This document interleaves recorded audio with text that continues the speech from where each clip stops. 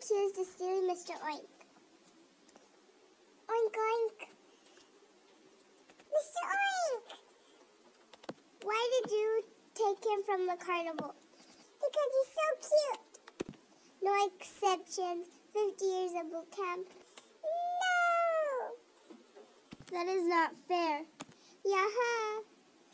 No, that is no, she's just a kid.